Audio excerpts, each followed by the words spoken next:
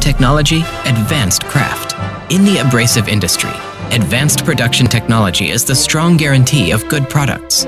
YAFIT import the production machines from Germany, EG09, using the most advanced intermediate frequency induction furnace, craft of centrifugal atomization granulation, the steel shot, and steel grit are made with the process of secondary quenching, tempering, round selection, screening, packaging, being high qualified, strengthened, with long lifespan. For the small size steel shot of 0.1 millimeters and 0.2 millimeters, etc., is unique.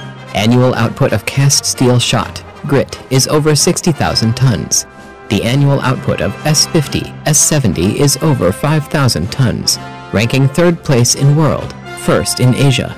The draft is unique in the RD field of steel shot and steel grit, especially in the field of small size metal abrasives, improved to 0.1 millimeters. Strong research and design ability and pursuit effect first spirit establish a solid foundation for excellent YAFIT products.